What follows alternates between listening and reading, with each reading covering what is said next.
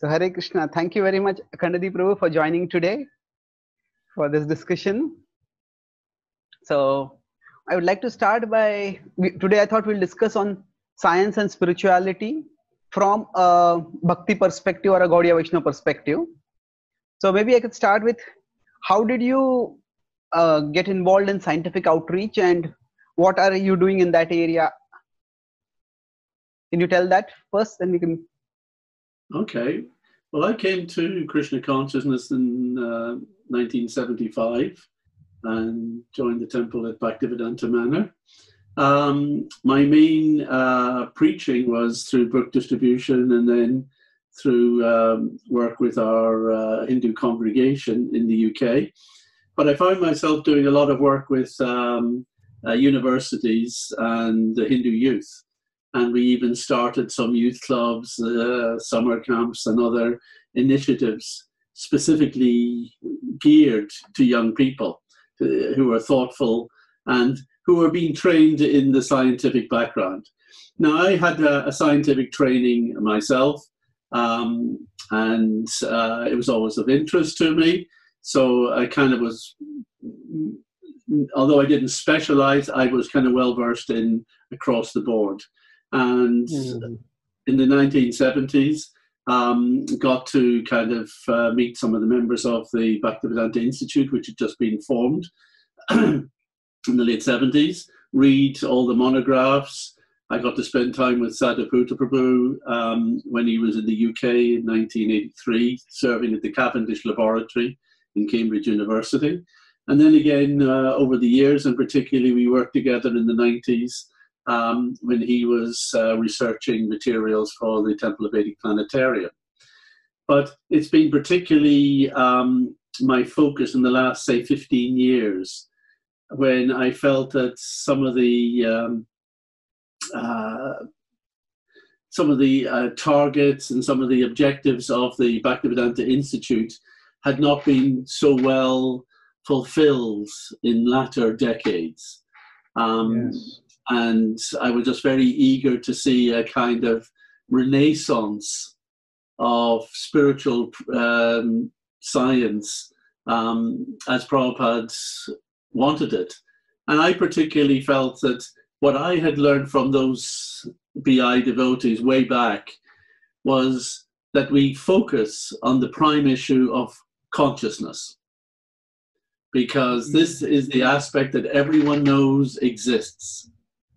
And actually, it is the big Achilles heel, i.e., it is the big stumbling block uh, and defect of the whole idea that this world is simply physical stuff.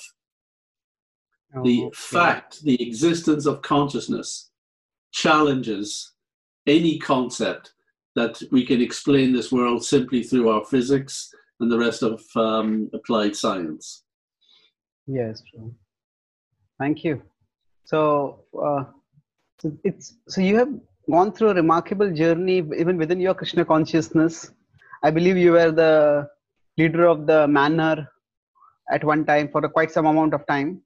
So, was it a conscious decision to withdraw from management and focus more on intellectual outreach at a particular time? Or? No, because uh, I always felt satisfied in the service I have been doing. I enjoyed my work uh, with the uh, Hindu community in Britain, um, ministering there and the preaching there. I really enjoyed my time as temple president for 14 years at the manor. It was challenging because of the political circumstances, but all the time there's always opportunities for our own personal study, for research, and for application. Um, and I then became involved with trying to develop um, a community for householders and um, looking at what the application of Varnashram. That was a big uh, focus during the 90s also. I was involved with the Temple of Vedic Planetarium. And all these, I've always enjoyed them. And it's but I suppose that um, in recent years I've had much more opportunity to develop mm. My own interests, and uh, that has involved quite extensive study, discussions, and presentations. because I believe that if any of us want to really delve into the topics and understand the science of Krishna consciousness and the brilliance of the Srimad Bhagavatam, it's not just a question of personal study, but one that we must share and discuss and debate with many other brilliant devotees and and even those beyond ISKCON. We have to hear their ideas. We have to know what they're saying. We have to see where there is truth and where there is issues that they have not considered.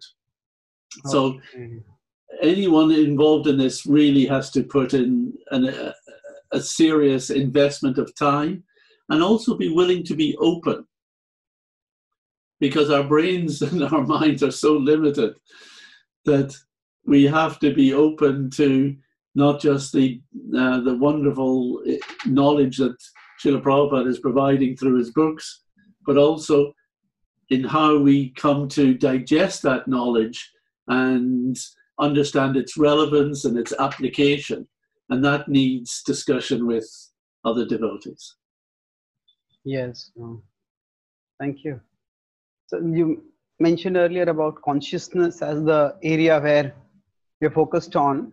And uh, when we talk about uh, presenting our perspectives or presenting what we have to say, so basically within the science uh, spirituality interface, especially from what we can provide, I have also over the years been exploring probably the most volatile area uh, is evolution and then another area is reincarnation. Another area is consciousness studies. So and i my, also, approach would be that you cannot understand the nature of evolution and the uh, appearance of the species. That cannot be discussed until you understand what life is. And until you understand what consciousness is one cannot actually understand what we mean by life. Mm. And until we understand the nature of consciousness, we cannot understand how matter works. And life is that combination of consciousness embodied in matter and its interaction with matter. And we ha- you have to study the actual metaphysics, which yes. are not mystic, not magical, not spiritual, but which are the metaphysics which underpin the reality of modern physics. And by understanding consciousness and how matter actually works, then the whole issue of how life appears in this universe becomes rather obvious. And it becomes very clear it is not according to the Darwinian evolutionary model. Yes, true. Now, this is a very interesting point. At and I have when I studied the evolution creation debate, the, the whole history of Western intellectual science is more God centered than consciousness centered. And you know, to bring consciousness into the discussion is quite a distinctive contribution that we can make. And in, in one sense, we can avoid the because avoid the heavy polarization that comes when you bring in god and uh, creation evolution exactly it? and in fact my interest is not in the debates between religion and science i think that's yeah. almost a waste of time my experience is that neither side can open to hear the other because of the sort of um, preconceptions that you have just mentioned the you know, science thinks, well, we can't discuss God, and the Christian kind of, or even the Judaic, uh, Abrahamic faiths simply just want to say God did it, and that's not scientific. So they haven't got anything to say to one another. So my view is we should be discussing not religion, not science, but primarily philosophy. Because science really only deals with finding evidence that can be established through observation and experimentation, replication, and so on like that. That's science deals with evidence. But evidence has to be understood and interpreted in terms of what it actually tells us. And that is enters into the philosophy of science. Mm. So unless, and unfortunately, the West has forgotten how to do philosophy. And that is our contribution. It is to remind science that actually it can only explore the topics, particularly the topics that go beyond what can be scientifically explored, i.e., by the science method. And anything to do with origins, the nature of consciousness, what is life, what came at the beginning of the universe, these cannot be explored by science. There's a certain yes. boundary which science reaches, and beyond that, it has to apply philosophy. And yes. unfortunately, what is presented in the name of science is really bad philosophy. It is not science, it is bad philosophy. Give you a simple example is any time that there is a scientific explanation which says these things happen by chance or these things happen by random interactions of matter. That's not science.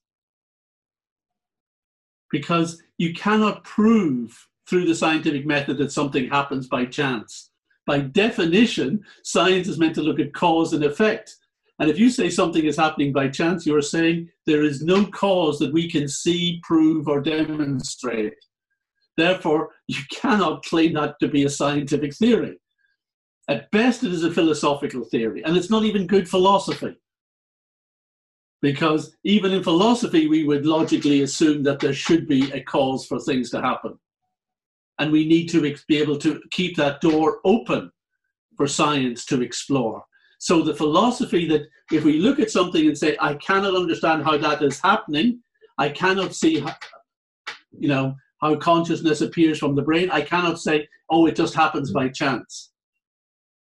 We have to be able to look at the causes of things. We mm. keep the door open for science. We need good philosophy. And that's where I feel is the prime contribution that particularly Vedanta philosophy can um, give to the world. Yes, Prabhu.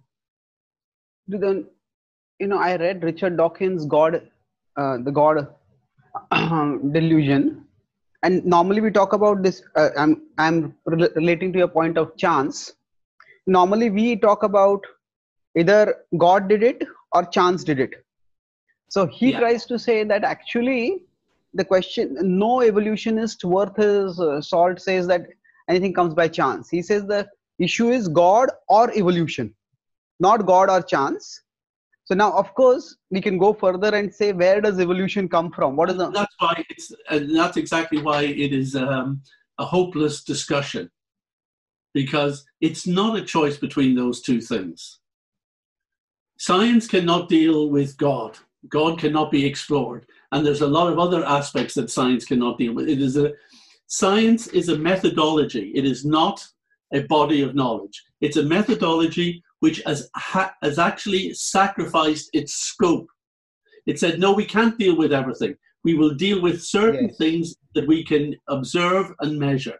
So it has reduced its scope of knowledge or its scope of examination for clarity within certain field. And that's why it has been able to show results within certain limits. Yes, but it is not the it is not a process for gaining knowledge for the whole of existence. That is the mistake. And that is the arrogance that is now being shown by many scientists and people who want to deny God. They say, no, science has all the answers. Clearly, science does not have all the answers. It cannot have all the answers. And philosophers have, have known this and have tried to stress this but they're being silenced by many people because of their own motivations in trying to demean anything which might open the door to spirituality. Yes, that's true. Now, science operates on methodological naturalism. So basically, it looks for natural explanation for natural phenomena. It's like one yeah. aspect of reality it is studying. So, when you're talking about philosophy, philosophy itself is a huge field and uh, one of the major philosophic going back to the question of you know how we present us our our contribution to science one of the major challenges to the idea of consciousness being non-material is how does a non-material soul interact with a material body? I think that is a question that has been going on from the Descartes, time of Descartes. And, yeah, and that's, but this goes back to bad philosophy. Descartes had a really brilliant insight in his second meditation. He recognized that what can I know for certain? He says, I know my senses give me information about the world, but sometimes they make mistake.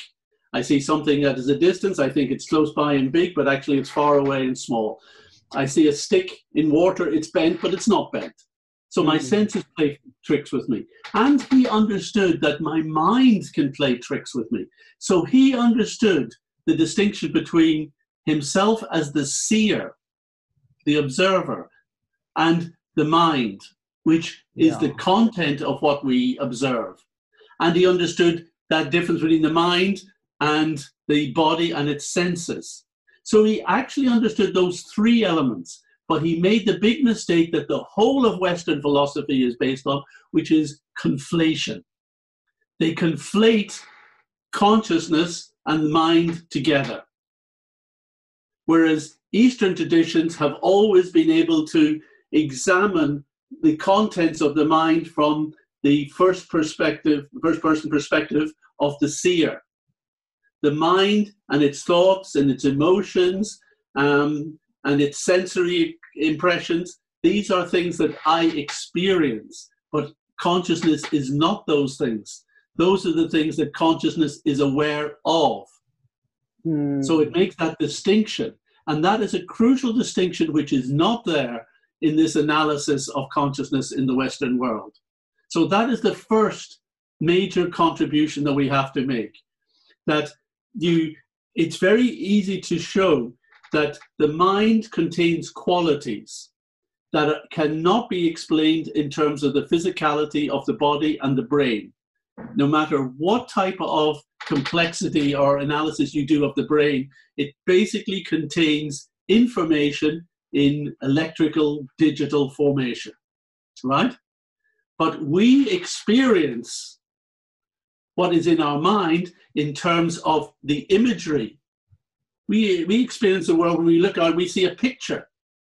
Now, that picture that we're seeing is not present within the brain.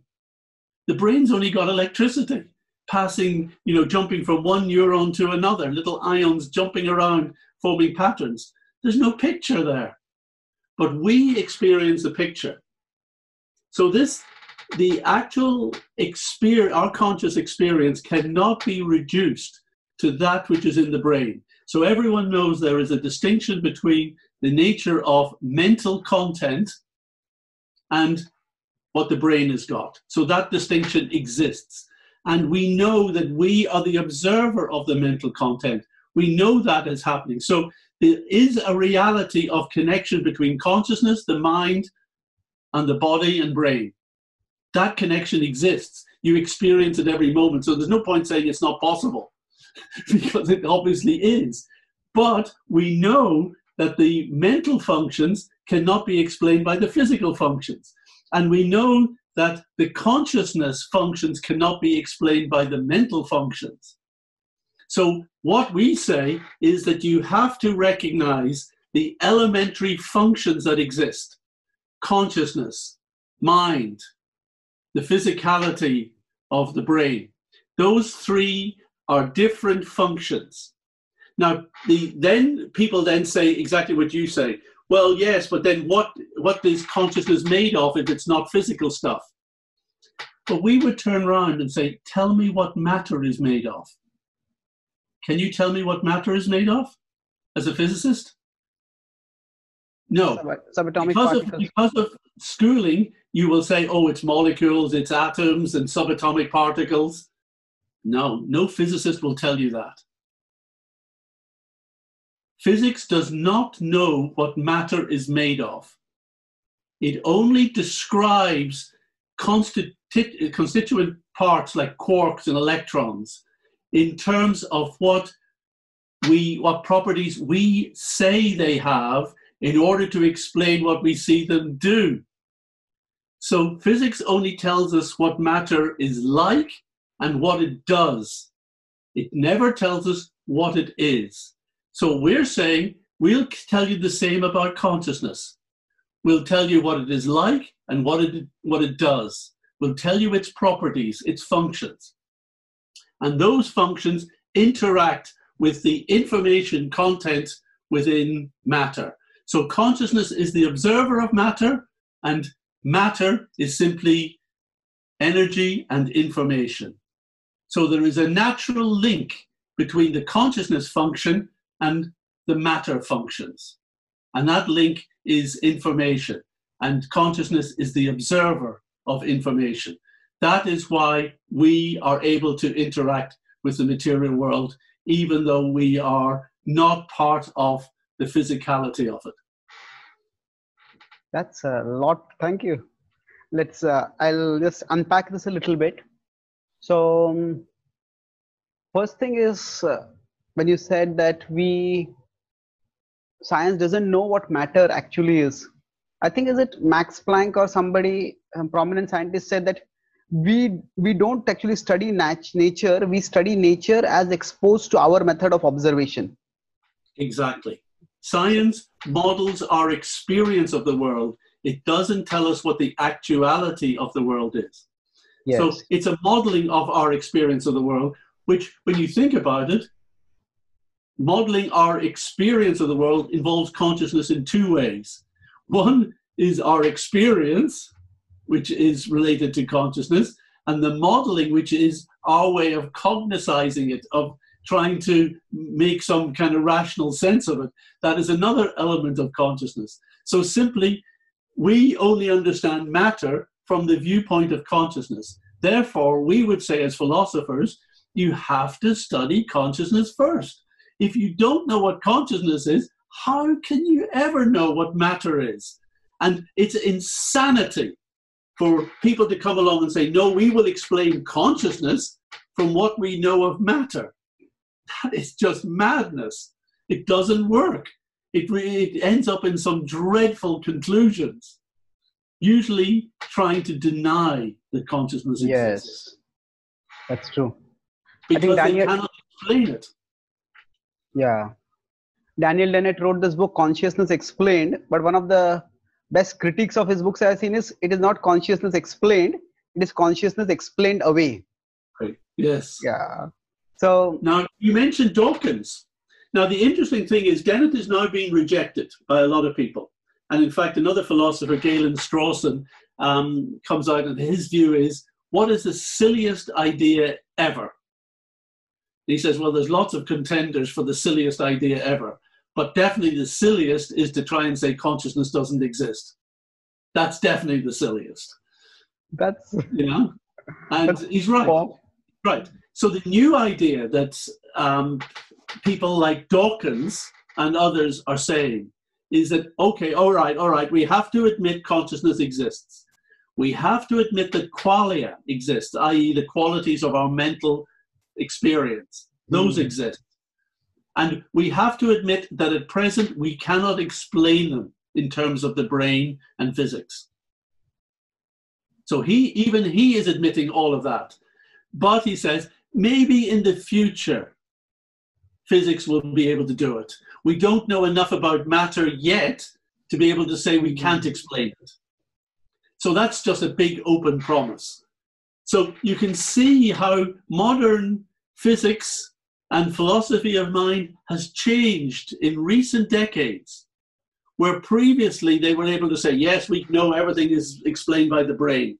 It's an epiphenomenon, it's an emergent uh, property. They were able to make statements like this as if it was fact, if it had been proved. No. Now they know they cannot do it at this present time. They just cannot do it, but at the same time, they cannot deny consciousness. So their only recourse is to promise in the future we will explain it by physics.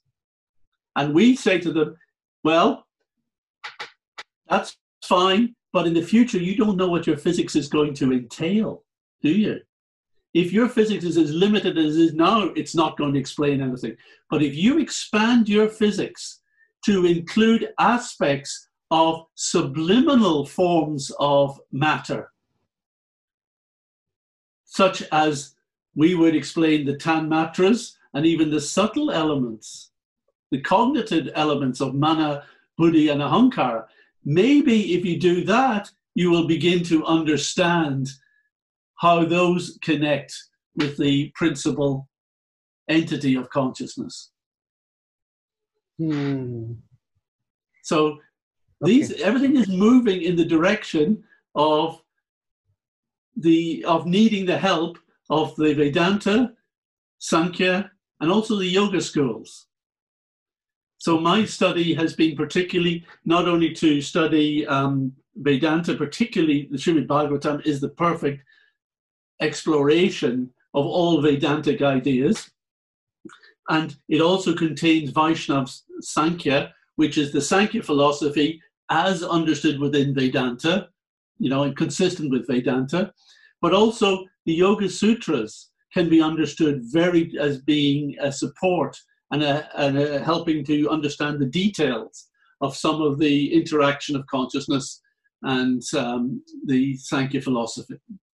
So Vedanta, Sankhya, and Yoga can go together, and together they really are very powerful uh, insights. And my approach in the West is to say to philosophers, look, let's examine this from first principles. Let's go right back to what we agree about consciousness. And let's build on that. And I personally feel that we can actually just use from first principles of philosophy, direct scientific evidence, which is published by reputable universities, and just using those two sources, we can build a whole, we can show you how it all builds together into the bigger picture of the relationship of consciousness and the material energy. Now, the only way we're able to do that is, of course, because we have already studied the insights of Vedanta and Sankhya. So we actually have been given the clue how it all works. If you were looking at these without those insights, you wouldn't be able to put it together. But by just incorporating those insights, and we're not saying you have to believe in it because the Vedas say so, we're saying, here's an insight, apply it to your problem, and you'll see that that problem becomes dissolved. It's, you know, it's sorted, it's solved. So we're saying that the Vedanta, you can believe in the Vedanta ideas not because it's Veda, but because it solves all the problems that you are facing in science and philosophy. Okay. So this becomes a more, you could say, a rational approach where it's more bottom up rather than saying this is what these scriptures say. We start with this is what is the existing problem, and here is a here is a knowledge source that offers some insights which can solve the problem. So yes, you're absolutely right that we are presenting this as a bottom up process, which of course is attractive to the rationalist and the scientist and so on. Hmm. But what we are saying and what we know in our hearts is that the only way we're able to construct a bottom up picture is because we have been given the higher picture Hmm. by the Bhagavatam and the, the Shastras. But we're not saying believe in them because That's of true. their yeah. authority. We're saying actually, when you take those insights and use them in your building up process, you actually see how it all works. It all makes sense. Yes, true. So, Prabhu, going back to an earlier point, you mentioned that just as science actually doesn't study matter, but studies what matter does and what matter is like. So, similarly, we can uh, adopt that same approach for consciousness. So, then are we focusing more on a functional functional study rather than a more of a metaphysical or ontological study? Or in, in, is it a principle of Vedanta itself that consciousness in itself can't be studied? That consciousness only as it is interacting with matter can be studied? I think initially it's important to indicate and to work on the fact that we're dealing with elementary functions and properties and um, to explore that. Um, but you're quite right, at a certain point, we need to understand the ontology. But the problem is, you cannot, it, it doesn't work from the ontology the assumed ontology of physics because physics actually doesn't have an ontology. It doesn't actually define what substance is.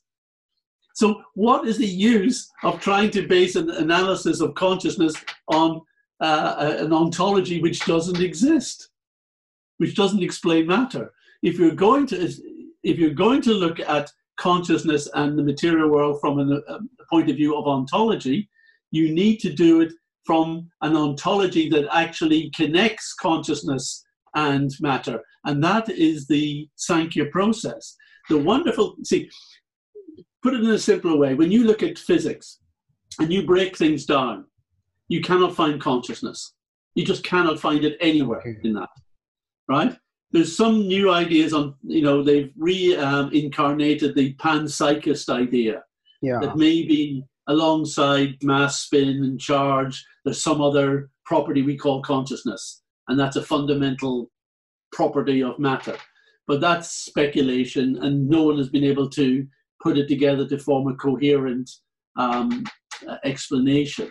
Really, when you delve by, by physics, you end up with just things that we are saying exists an electron. What's an electron?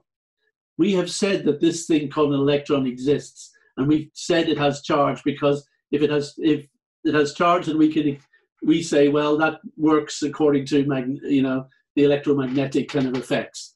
So therefore, we say it's got some charge. We say it's got some mass. We don't know what mass is, but we say it's got mass because then we can kind of show how that interacts with this other concept we still don't know called gravity. And so, so we're just always concocting properties to give to matter to explain what it is like and what it does. But there's no ontology, and then we cannot find consciousness through that. Whereas Sankhya looks at matter and it models consciousness in terms of our experience of it.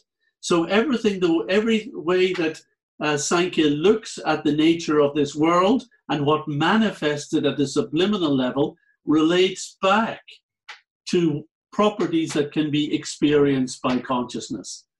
So that is the ontology to use to explore consciousness and prakriti, which is the kind of general term for physical matter um, or material stuff, both in its subtle and um, kind of gross manifestation. Um, now, the interesting thing is on the ontology, so what distinguishes that which is conscious from that which is not? Well, obviously, the ability for awareness is one, that's the function, but there's another factor, and that is that matter is influenced and manipulated over time. Time affects both physical and subliminal matter. Whereas, By subliminal, you are referring to subtle matter? subtle matter in different forms. There's subliminal in terms of tanmatric data, which manifests the gross physical properties that we can see and uh, measure. But then beyond that is the cognitive functions of what we would call subtle, the uh, Sharira Linga, the Mana, Buddhi, and Ahankar.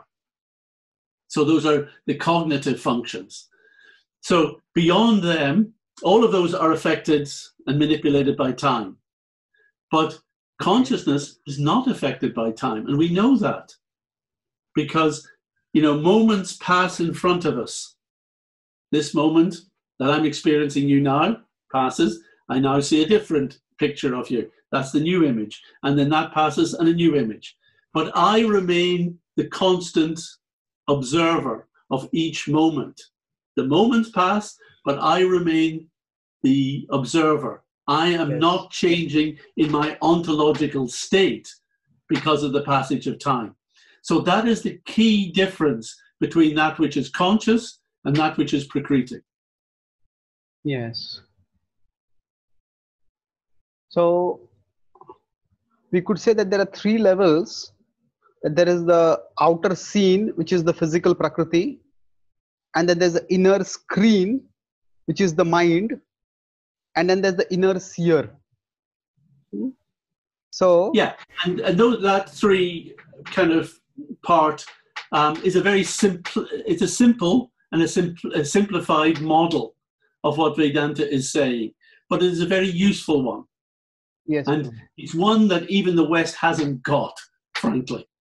Western yeah. psychology, Western medicine, Western science, physics, and neuroscience, they haven't got that model. And okay. this is something that we discuss with um, uh, psychologists and um, people in the West that we say, look, even if you don't want to accept the nature of the entity of consciousness, the Atma, and you don't want to give it any special status, still, it is a better model for you to analyze how people experience the world, to assume that there is the conscious self yes. and that be that the conscious self becomes aware of the stuff of the mind and we can break down how the mind processes stuff into different categories particularly the role of mana the role of buddhi and the role of ahankar. But all of that is a kind of secondary psychology. Primary psychology is the psychology of the atma. Secondary psychology is that of what is being processed within this overall thing we'll call mind. The mind in the Western terminology is very uh, vague, honestly. Yes. But we kind of can just use it there. And then the third level that affects what we experience and how we experience that is, of course, the neurology of the brain and how it is processing information about the world. So if we have a disorder in terms of what we're experiencing, we can look and see is it something to do with our senses, like you know, you and I are wearing glasses, you know, our eyes need a little help, or is it a hmm. neurological issue? Is there something not firing well in the brain? Or is it how the mind is processing that information and perhaps misreading that data and presenting it to us in a, a strange way? And then ultimately, we have to look at the primary psychology of the Atma and understand what are its motivations, what are its intentions, what is involving it in this whole aspect of why we're experiencing the stuff of the mind. What's going on? So you are attributing emotion to the mind and intentionality to the Atma here? Certainly, um, and this is something we, we need to kind of pick apart very carefully because because of the problem of conflation in the West, mm. where everything's just the brain, you know, yeah, mind, consciousness, you know, experience, emotions, personality. It's just brain. That's pathetic. It's, I mean, it's it's been beyond pathetic, and mm. um, trying to pull it apart. The Atma is that which is conscious, and therefore that is we are that which has the experience. Now, the interesting okay. thing is what we are experience, what we, what is our experience of, and that we can kind of. Um, one of the concepts that is used in Western philosophy, although it's not properly understood, is the idea of the theater of consciousness. That yes. we appear to be the audience seeing stuff presented to us on the screen or on the stage of consciousness.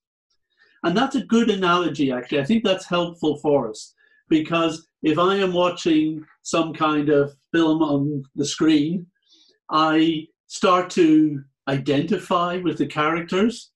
I start to worry about them. Nothing is happening to me. I'm sitting here quite comfortably in my uh, at home, but I'm now starting to worry about what's happening to these characters. I'm worried, you know, they're going to get hurt. I'm worried something nasty or something frightening happens. So I'm allowing my emotions, my the experience of my own emotions, to be affected by what is being presented on the screen.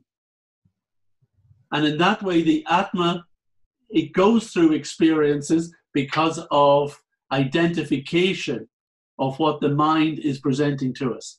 Now, we can get very technical and explain that that actual process of identification with what the mind has actually happens within the sheathing of ahankar.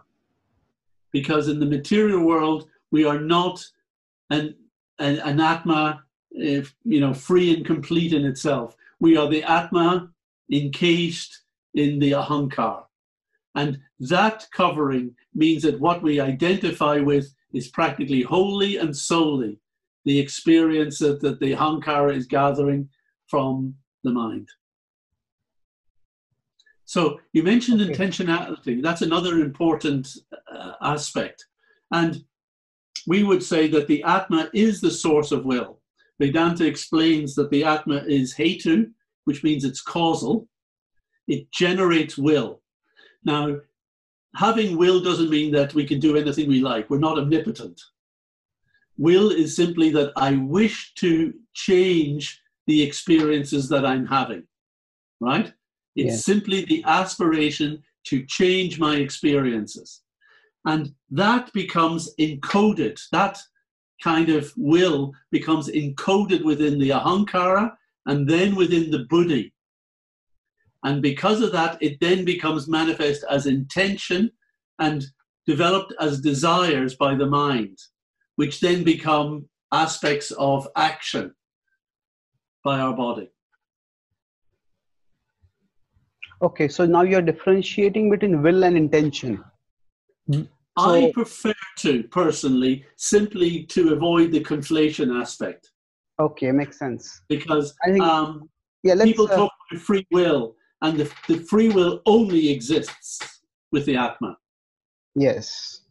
Whereas intention can be something that either is trying to interpret our will, or it can be something that may be conditioned by the way the mind processes stuff. And okay. a lot of how we act is conditioned.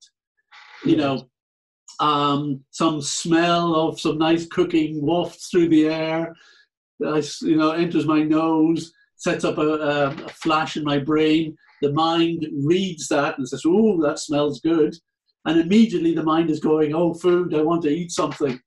So, practically speaking, without any conscious input from ourselves, the mind can be making up all sorts of ideas. I think you should go and find something to eat. You know, it yeah. can be driving action, and almost we have to say, "No, wait a minute! I don't want to do that." You know, we've almost got to stop. We have to use what's called free won't.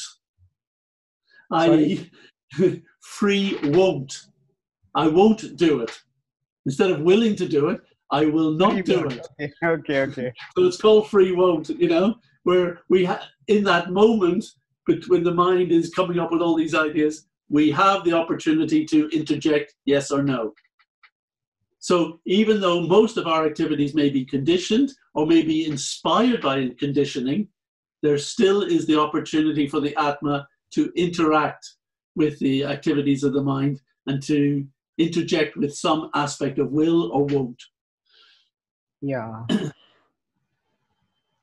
so I think one, going into the technicalities of uh, Manabuddhi Ahankar might be a bit too much at this stage. Uh, uh, just one question that when we talk about western western thought systems not really acknowledging the difference between the mind and the soul now from a empirical perspective or from a western scientific perspective is there a way to differentiate between the two? One is of course what you said our lived experience that there is uh, the content of thought and we could say there is the conscious perceiver or conscious experiencer. Those that is that is something which is like a intuitive exercise that anybody can do. But beyond that now i have discussed just i'll complete this question. I discussed this with uh, devamrit maharaj who has written that searching for vedic india and Dhruta prabhu. Now Dhruta prabhu and devamrit maharaj both of them in their book attribute near death experiences to the mind and past life memories to the soul.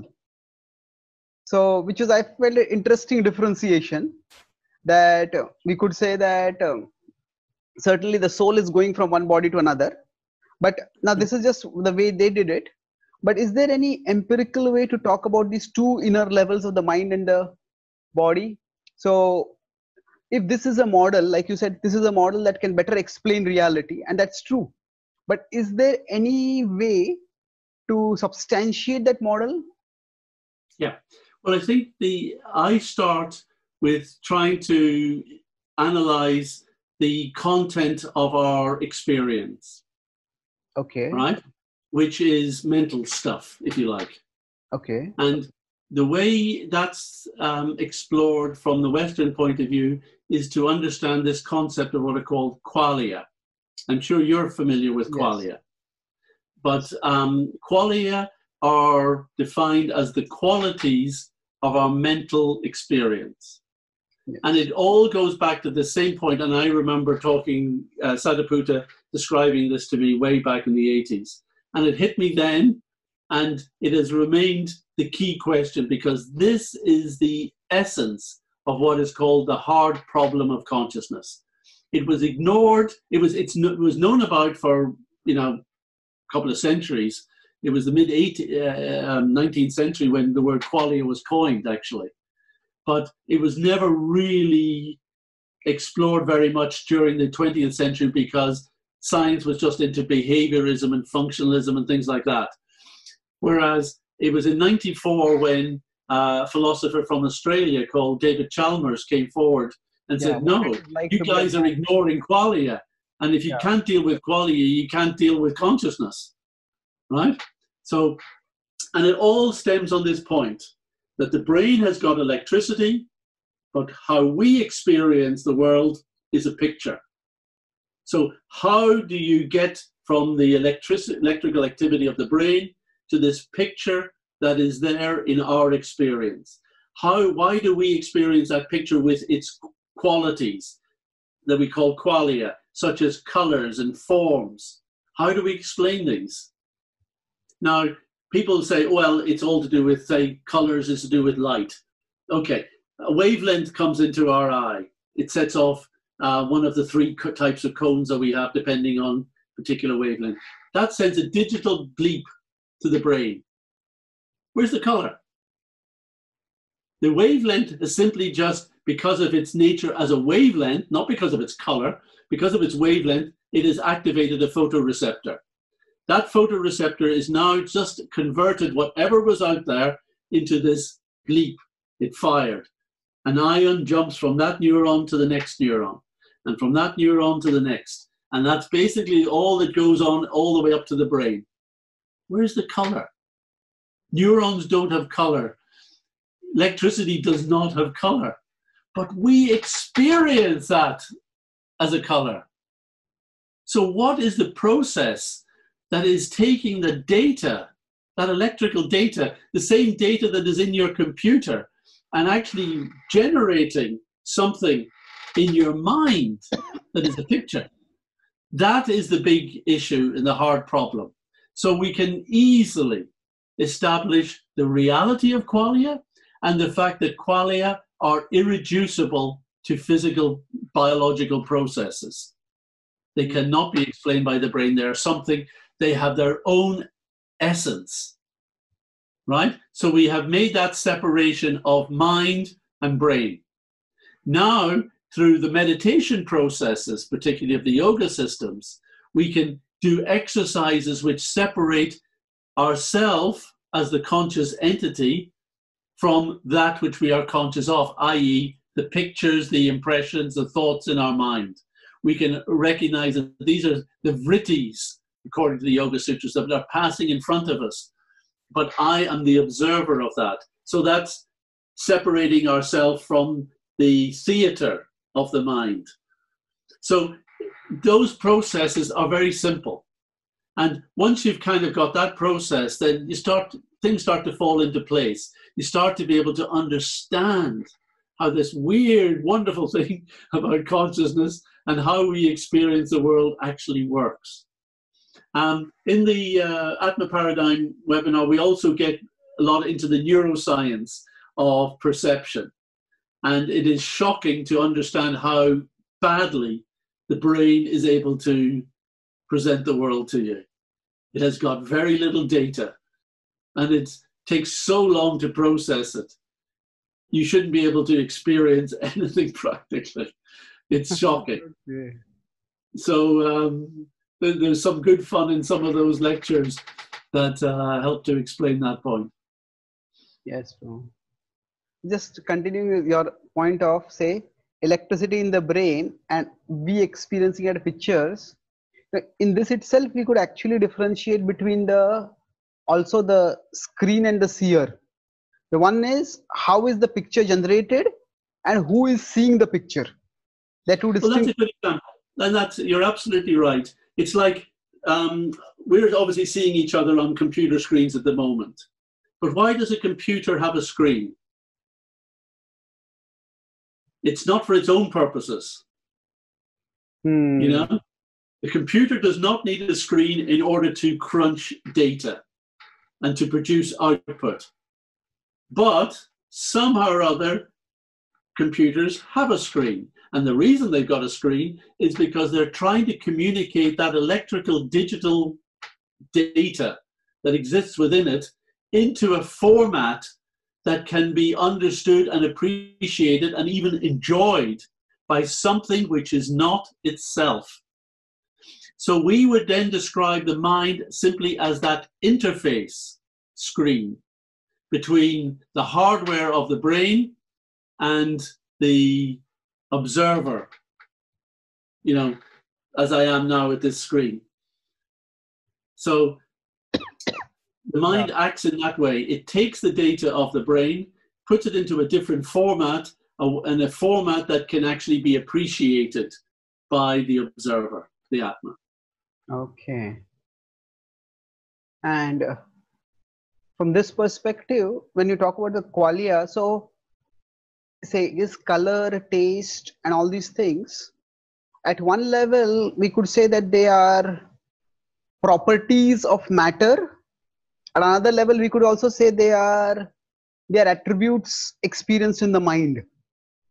You and see, there is some link to, well there's obviously a link with the outside world the information that the brain gets and what we experience. There is a link yes but it is not as direct as people tell you it is and a, a simple example is color when you're at school, you learn that there is a visible spectrum and it forms these rainbow colors red, orange, yellow, green, blue, indigo, violet, right?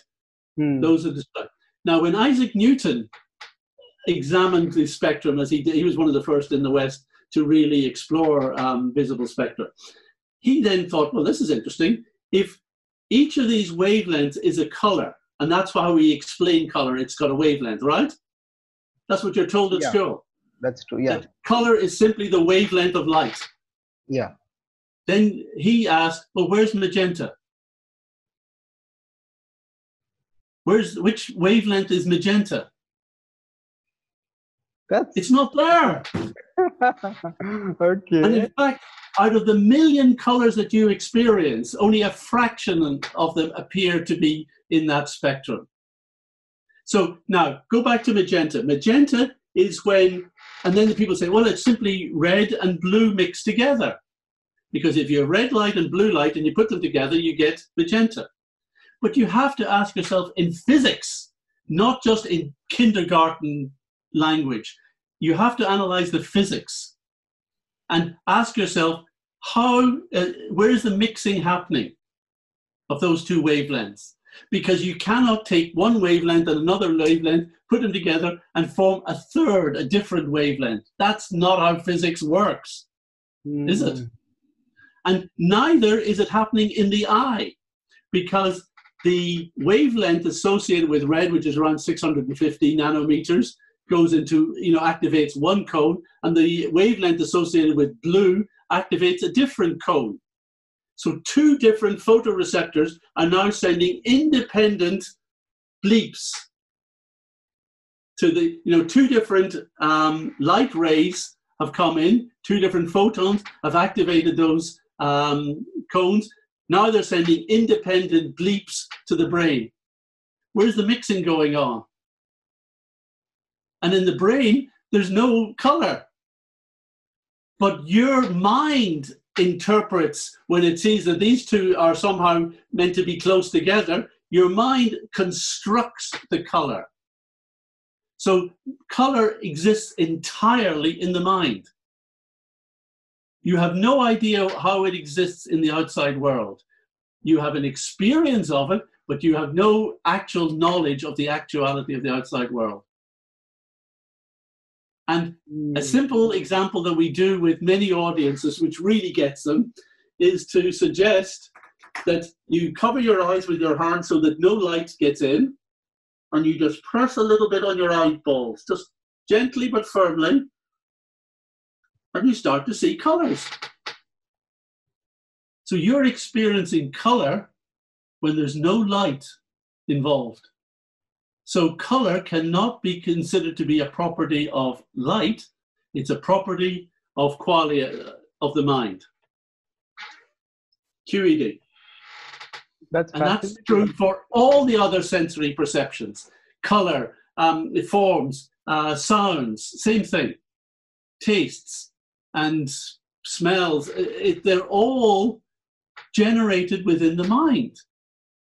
Because each one of them, whether it's um, somebody put some food in your mouth, that sets up some receptors which send bleep, bleep, bleep to the, to the brain. There's no difference between that bleep coming from the neurons connected to your tongue to that coming from the neurons connected to your eyes. It's just a different bleep in a different part of the brain, but your mind is associating with the bleeps here as, and it gives you the sense of a taste of something, a flavor of something. Whereas over here, it's generating a picture. And over there, it's generating it as a sound. But you see, we take all of this for granted because we've been experiencing since we were born. And we are completely fooled as to what is happening. And we don't understand that I am not actually interacting with the outside world. Data from the outside world is coming in through my senses, going into my brain, but my mind is then constructing the picture and impressions and experience of the world that I think are the tastes, colors, um, sounds of the world. This is how we're confused. We need to have a completely new appreciation of the wonder that is happening. And when we appreciate that wonder, we understand then the nature of what the mind is doing for us and how consciousness is simply the receptor and observer of all of that wonder. Mm, beautiful. So there's a lot more we could discuss, but uh, maybe you know I, I'll you could would you like to speak something about uh, your Atma paradigm seminars so that our readers can know viewers can know about it, and then maybe we okay. could continue some discussion in a future session about some specific topics because I have a lot of questions about what you have mentioned till now, and I could flesh out flesh out some things. But uh, I, I would, it would certainly be great to continue our discussion because you're well tuned into the, the various topics and understand all the issues. Um, and that's uh, very special and appreciate that. Thank you. Um, and yes, thank you for um, giving me an opportunity also to talk about the Atma paradigm as a series. It's something I've been working on for about 15 years. Um, and it was my attempt just to try and provide a framework a philosophical framework that reaches from consciousness all the way through analysis of what we mean by matter and reality, what we mean by life, and all the aspects of how biology works. And once you understand the role of consciousness as primary, and this aspect you mentioned of intentionality, causation, will, actually, we understand then how the Bhagavatam is teaching us how consciousness, how the desires of consciousness feed through into the reality that we experience, how they mm. generate the forms of this world, how they generate the species that we will then in, take as our body to enjoy with in different ways. Everything actually comes from consciousness originally. It is driving. And then once we explore life, then you can start to talk about the universe.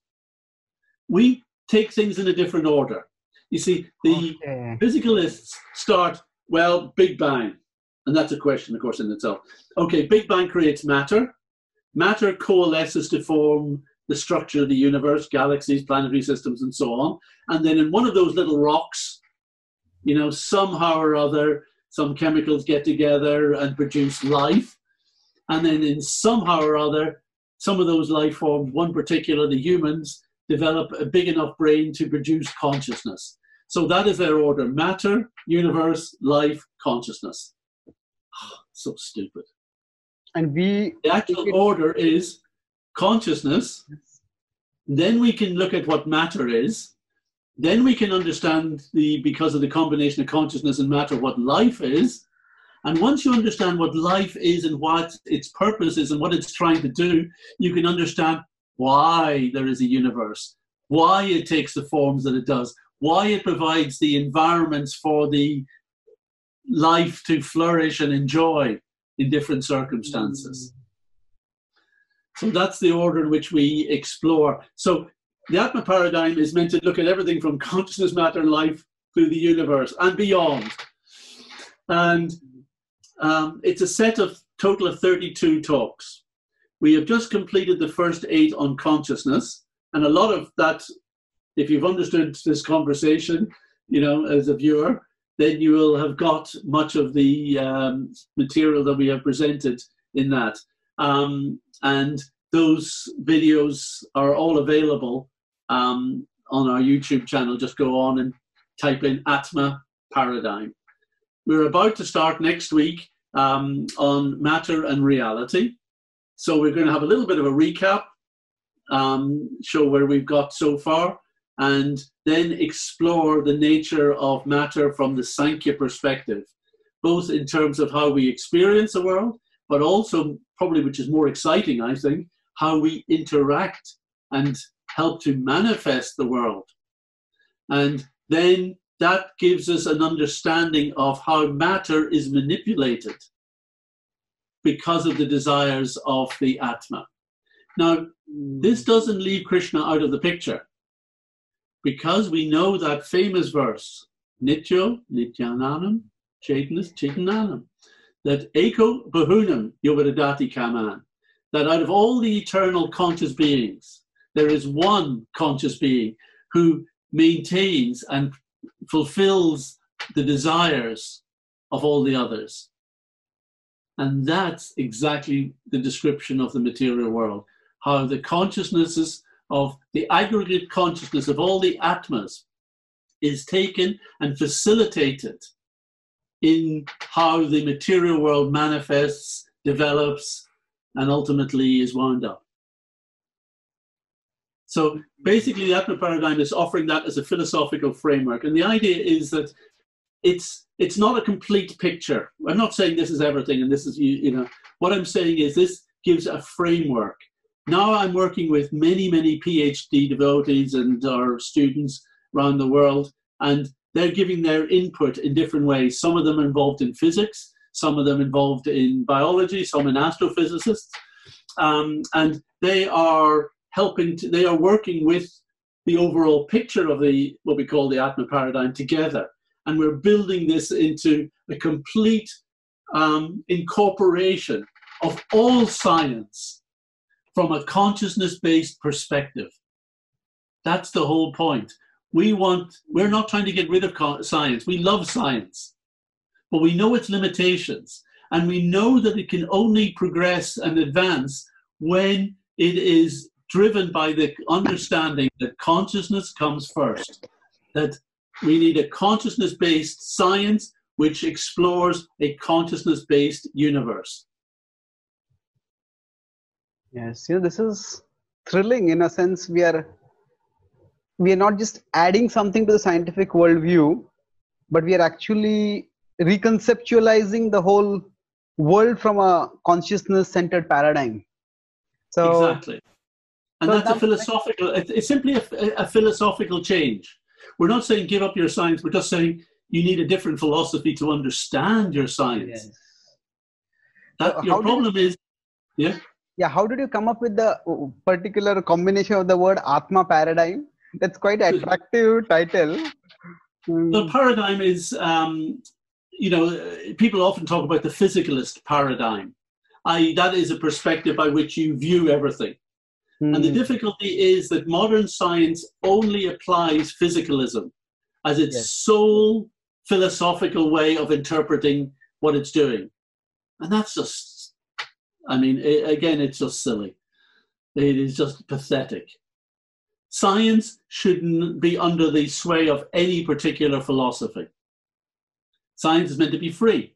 Mm. But if you are going to use, if you are going, but you will have to apply philosophy to science in order to understand it, you might as well do it in one that actually makes sense of the science, which is consistent with the science, which doesn't have as many holes and quandaries and problems as the physicalist picture of science does, but actually explains everything, and which is in keeping with what we know about ourselves.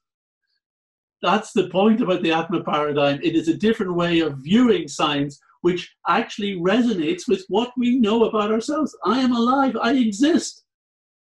You know, I experience stuff. That's all real. And which is also consistent and supportive of what we would say is the theological proposition. we haven't discussed in the Atma paradigm, and the scientific method can never reach God. Even philosophy cannot really help to um, reveal God. Krishna can only reveal himself. You know, yeah. the processes of bhakti yoga, that is its own science. And the Atma paradigm is trying to show you that you can have a philosophical, a rational, intellectual view of the hmm. science that we have built up. And that is entirely consistent with the processes of bhakti, which will then open up the bits that are still left to discover, the important bits. Krishna and the spiritual world. Okay. So doesn't the word Atma itself come out as a little religious or spiritual? Uh, because somehow the still what I found is the Atma paradigm sounds quite cool, if you could say. If it just Atma, it might have sounded a little too religious, but it's a very creative combination. Yeah, I mean, um, most um, folk I mean, India, obviously, people know the word Atma, at least they've heard it. But in the West, it tends to be in the academic papers as Atman. It tends to be how they phrase it, Atman. And there's no difference in real terms. It's just a kind of um, etymological kind of thing. But I like to use the word Atma because I won't use the word soul. Because yes, in the West, people are confused what they mean by soul just as they're confused about mind, spirit, God. These are actually hopeless terms, I'm afraid. Hopeless terms, yeah, that's true. You know, I'm not trying to kind of put down the concepts and what they represent, but the problem is those words in English have just been used mm. and abused in so many different ways that they're practically useless for trying to say anything specific and precise. Yes. So we say instead of talking about the soul as being the source of consciousness, because as soon as you word the soul, they've got a wrong conception. People think I am this body, I have a soul, it's that part of me which doesn't die or something. Yeah, it's yeah. confused. It's it's really you know, or it's the music I like, but um, music I like. Yeah, that's true. but uh, uh, you know, um, or it's just some kind of you know feeling I have, you know, passion I have about the world. No, but what we're trying to say is that we need to define this source of consciousness. That when we're talking about consciousness, we're not talking about what we are conscious of. We're not talking about consciousness as the subject matter that we are conscious of, nor is it the state of mind, but it is that ability to have experiences yes about what's in our mind and what state we're in so it's the ability to have experiences, or more accurately, the phenomenon of being able to have that ability. And really, we want to get it further because we want to tie it down a little ontologically. It is that entity which is composed of and possesses that ability, a phenomenon of consciousness. So consciousness is not something we have, consciousness is something we are. That's beautiful. So then, rather than and using we're defining Atma as that which we are, the individual unit of consciousness, Hmm, which of course ties in with Vedanta, Atma as that kind of quantum of Brahman, and particularly a quantum of Krishna's energy. yes, beautiful. And then, in So- that sense, using the word Atma is much more, uh, you could say, philosophically pregnant than using the word consciousness alone. Because Exactly. It, it ties down where we're assigning consciousness to. Yes, Because again, consciousness is a very big word. It's been, you know, conflated with so many different things. Um, but we are tying it down. No, here's it. But it belongs with this entity, the Atma. All right. Now we can understand how that entity interacts with all these other aspects that are to do with conscious experience or state of mind or whatever. Yes, no. So I'll also put a link to your Atma Paradigm channel in the description of this video. So And maybe- uh, I'll, I'll also send you a little um, uh, flyer we have now for the next series. And the idea is that people can join in next week, and even if they haven't listened to any of the previous ones, they'll be able to follow along. That's the idea. okay, yes, true. So I'll just quickly summarize maybe what we discussed, the conclusion. So we started by talking about your journey and how you last 15 years almost you're focused on the study of science, which you already had a background from, and uh, you felt that uh, you made this point that getting into the debate on creation and evolution it's just a distraction which is unproductive. And focusing on consciousness is something which we can distinctively do. And there are a lot of i have studied that but i learned a lot myself here about uh, in this discussion about especially you know we, we started by explaining the hard problem of consciousness in different ways the the conflation between the senses the mind and the soul is what has stymied western philosophical efforts to address that issue. And uh, to if we can differentiate between the two and that's what our tradition does that's very significant and how do we ex- introduce consciousness into science with its with its uh, whatever worldview it has? It says that just as science can't actually explain what matter is it explains what matter is like and what it does. Similarly we could approach that same way to consciousness what consciousness likes and what consciousness does. And then we can invert the whole thing because consciousness is what we first experience. You quoted how to say that there's no consciousness is the silliest idea that can be there. So and then rather than and we start with consciousness as foundation and then we build a bottom up approach that there are all these problems in science especially like say qualia which can't be explained. Our lived experience can't be explained. And then we offer the vedantic paradigm. It's not just vedanta. You say vedanta sankhya and yoga all of them you bring them together to offer solutions to existing problems. And then in the atma paradigm lectures the science begins with the universe whereas we begin with consciousness. From consciousness we come to the what is the mi- mind? Consciousness Well, we look, we look at matter and reality consciousness and to matter and matter mind. to life and life to universe.